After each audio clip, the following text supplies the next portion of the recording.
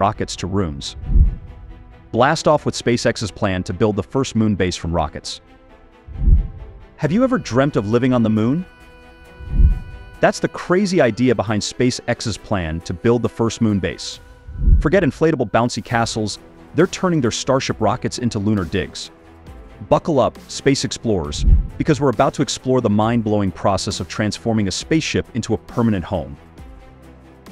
This is a huge endeavor that will call for the energy-efficient engines and minimalist designs that have made SpaceX and Tesla well known. A real application of first principles. The simple solution to the issue is that SpaceX already has a massive Starship under construction that will land on the moon and sustain an astronaut crew for several days, so they don't need to construct a lunar base. The car itself is essentially built to function as a mobile residence or as a portable moon base at one point. Let's take a closer look at our lunar lander Starship and attempt to figure out what's going on inside before we build what amounts to the lunar equivalent of a caravan park by converting these mobile rockets into permanent dwellings. In comparison to the Starships of today, ours appears substantially different from the exterior. Instead of displaying raw stainless steel, the lunar Starship is always depicted in white paint. We also notice that these lunar ships lack wings and heat shield tiles, which I assume is more a marketing decision than anything else. This is because the lunar ships are meant to stay on or near the moon indefinitely, not return to Earth.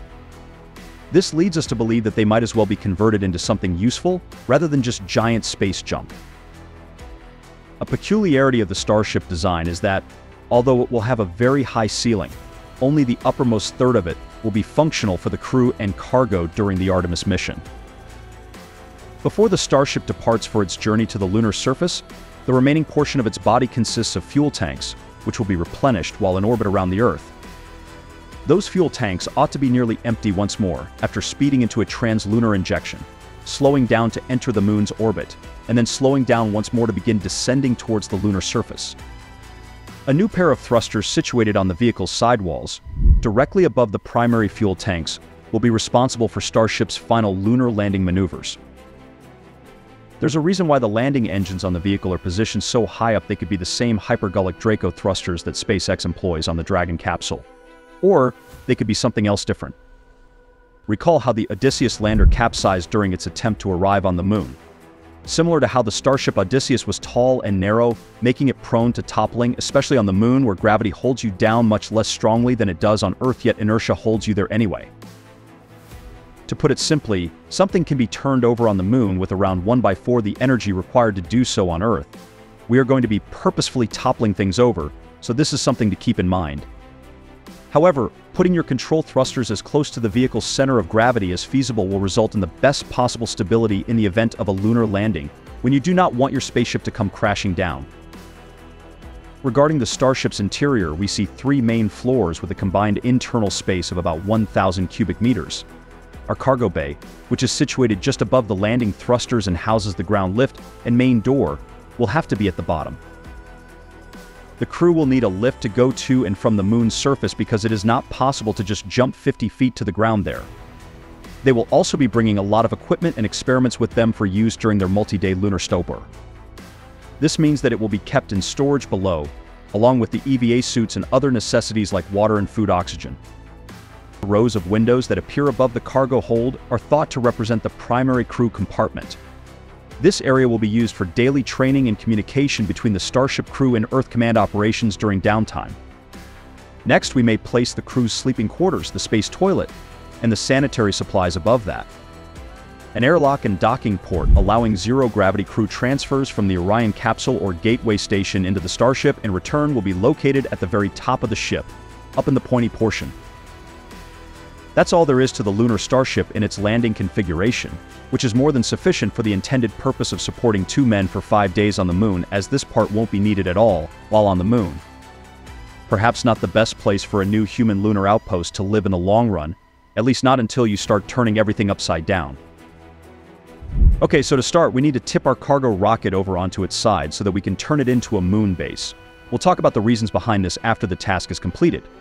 There are a few, Thus, even if tipping a starship on the moon will undoubtedly be simpler, the process will still be difficult. The theory is that because the Earth's gravitational pull, is only about 1.62 meters per second square, the ship will be much more vulnerable to sideways influence. This means that if you pull from the very tip of the nose cone to maximize your leverage, you won't need to pull very hard to bring the entire thing down. The amount of traction that can be obtained in the lunar dust, which may be a constraint, may determine whether or not we can simply rig up one or more moon rovers with cables and drag the object over. For your lateral force, you may also employ an electric winch that is anchored into the Earth, a large rock, or the base of another starship. In addition, I've been wondering if a counterweight mechanism is necessary to prevent the ship from simply toppling over and landing on the ground, or if it could manage without one. I doubt that a sudden drop in gravity onto a soft sand-covered ground will cause much damage, but I could be mistaken. The Starship is intended to crash belly first into the Earth's atmosphere at over 26,000 kilometers per hour. In any case, now that it's lying on its side, it's time to begin the restorations. We will therefore be able to utilize the available space within the Starship far more effectively by switching from a vertical to a horizontal layout. However, the process of tearing out the existing interior and putting in a new lengthwise floor plan would be somewhat labor-intensive. To be honest, that's the main issue with this entire concept. Though that sounds amazing in principle, in reality we would be remodeling a house on the moon while wearing spacesuits with very few resources available and a significant risk of tragedy or death. I believe that we simply have to presume that robots will be able to complete tasks for us, and we have faith in the Tesla bot to do so. However, if we can open up the entire 50m length and 9 miles breadth of the Starship body and equip it with everything we require to survive and explore 400,000 miles from home, then we will have an incredible moon base. Theoretically, we want to preserve the most straightforward yet functional interior design that enhances user comfort and convenience. Thus, choosing an open idea makes the most sense, at least in my opinion. We create a level floor from front to back on the Starship's lunar base, which is approximately one-third of the rocket's radius.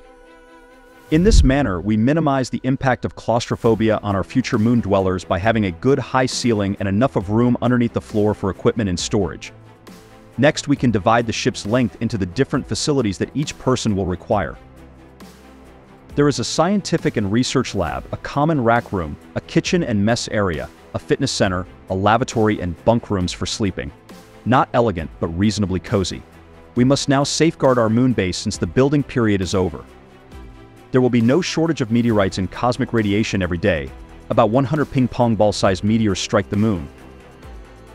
Because there is no atmosphere to slow them down, these tiny pieces of space rock reach the surface at a speed of 72 kilometers per second. There won't be any wind or rain, so we won't need to seek shelter. They are carrying 3 kilograms of dynamite's worth of kinetic energy. The moon's surface is constantly exposed to cosmic radiation from solar wind exposure, because there is no magnetic field to shield it.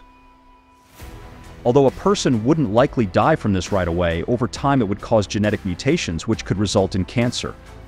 A thick covering of regolith or lunar dirt that would envelop the entire starship would be our strongest line of defense against both of these threats. We require a great deal of it. To provide effective protection against cosmic radiation and minor impacts from meteorites, a layer of regolith 5 meters thick is necessary, Regarding significant meteorite strikes, nobody ever promised a safe journey. The Starship's attractiveness now lies in the fact that SpaceX intends to build many more of these to have one rocket launch each day from the factory, and they won't even cost that much to launch. Theoretically, we can place as many Starships on the Moon as we choose, and they do not all have to land there carrying humans. Future lunar starships may arrive with only supplies or robots the first few will be used for Artemis missions. The possibilities are limitless, for example, we may dock a Starship tanker that is simply filled with water or hydrogen fuel. It's quite absurd to think about, but you can send a Starship to the moon as long as you can fit a piece of infrastructure inside its upper third. It's not all that absurd when you consider that Elon Musk and SpaceX built the Starship specifically to establish a 1 million person metropolis on Mars. In light of this, it should potentially be very simple to just colonize the moon. It does offer the ideal chance to hone and validate these systems before deploying the entire system to Mars. So would you live in a converted starship on the moon? Leave a comment below and let me know what you think. And hey, if you're feeling adventurous, smash that like button and subscribe for more space adventures.